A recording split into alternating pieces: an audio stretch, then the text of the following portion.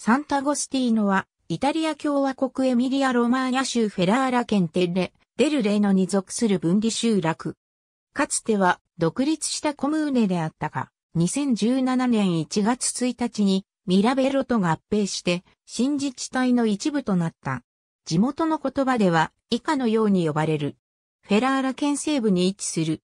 県とフェラーラから西南西へ約 19km、チェントから北東へ約 10km、ミランドラから南南東へ約 28km、ボローニャから北へ約 33km の距離にある。隣接コムーネコムーネとしてのサンタゴスティーノは以下のコムーネと隣接していた。ボーはボローニャ県所属を示す。サンタゴスティーノの市街はボローニャ県との県境となっている例の川の左岸に立地する。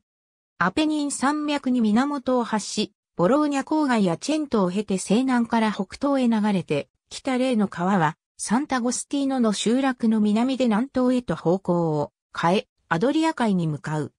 この屈曲点からは、カーボーナポレオニコあるいは例の運河と呼ばれる運河が分かれており、北東へ 18km 先のポー川とを結んでいる。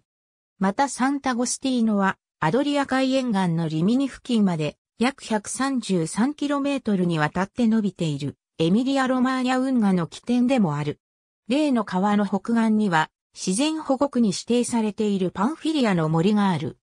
2012年5月20日、この町の付近を震源としてイタリア北部地震が発生した。サンタゴスティーノでは工場が倒壊し死傷者を出した。イタリア北部地震により損壊した建物、サンタゴスティーノには古くからの企業がいくつかある。タッシナリ・ビロンツェ社は、1910年創業の医療用軽量器具メーカーである。フェラーラ県所属のフラツィオーネではあるが、隣接するチェントと共に、文化的には、ボローニャとの結びつきが強い。ウィキメディアコモンズには、サンタゴスティーノに関するカテゴリーがあります。ありがとうございます。